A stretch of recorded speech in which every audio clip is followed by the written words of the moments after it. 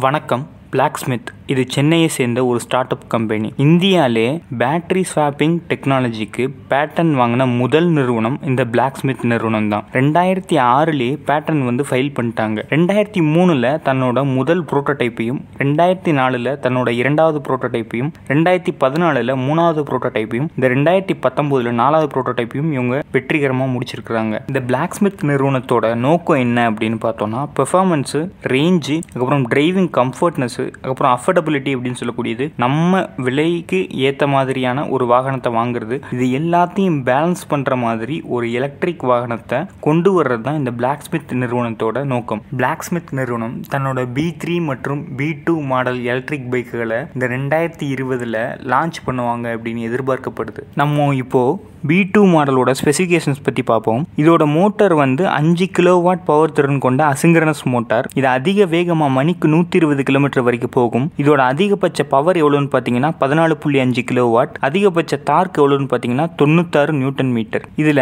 Single battery pack மூலியமா நமக்கு நூற்றி இருபது கிலோமீட்டர் வரைக்கும் ரேஞ்ச் கொடுக்குது. டூவல் பேட்டரி பேக் மூலியமா இரநூத்தி நாற்பது கிலோமீட்டர் வரைக்கும் ரேஞ்ச் கொடுக்குது. இது ஒருக்க சார்ஜ் ஆகிற நேரம் நாலு மணி நேரம். இதில் என்ன பேட்டரி யூஸ் பண்ணியிருக்காங்க அப்படின்னு பார்த்தீங்கன்னா high energy density NMC battery அதுவும் இன்டெலிஜென்ட் ப்ளூடூத் பேட்டரி மேனேஜ்மெண்ட் சிஸ்டத்தோட இன்டகிரேட்டட் ஆகி இருக்கிற பேட்டரி தான் இதில் யூஸ் பண்ணியிருக்காங்க இதில் GPS artificial intelligence digital speedometer anti theft alarm எல்லாமே இதில் இருக்குது. பதினெட்டு இன்ச் அளவுள்ள அலாய்வில் இதில் பொருத்தப்பட்டிருக்கு. இதில் வந்து ஹை எஃபிஷியன்சி ஏசி கண்ட்ரோலர் இருக்குது. கிரேடபிலிட்டி ஆங்கிள்னு சொல்லக்கூடிய சரிவான ரோட்லையும் போகக்கூடிய ஆங்கிள் வந்து இருபத்தஞ்சு டிகிரி வரைக்கும் இருக்குது. சைஸ் ஸ்டாண்ட் சென்சாரும் கொடுத்துருக்காங்க இது அதிகபட்சமாக இரநூறு கிலோகிராம் வரைக்கும் எடை தாங்கும். மூணு புள்ளி அஞ்சு ஆர் பதினெட்டு அப்படிங்கிற அளவுல டியூப்ளஸ் டயர் இருக்கு. முன்னாடியும் பின்னாடியும் டெலஸ்கோபிக் சஸ்பென்ஷன் கொடுத்துருக்காங்க இதோட கிரவுண்ட் கிளியரன்ஸ் இரநூறு எம்எம் இந்த பிளாக் ஸ்மித் எலக்ட்ரிக் பைக் வந்து கண்டிப்பாக மக்கள் எதிர்பார்க்குற அளவுக்கு அதிக ரேஞ்ச் கொடுக்குற ஒரு பைக்காக இருக்குது. இது நம்ம வர்ற வரைக்கும் நம்ம காத்திருப்போம். கண்டிப்பாக ஒரு நல்ல பைக்காக இருக்கும்னு நம்ம நம்புவோம். வாழ்க பாரதம்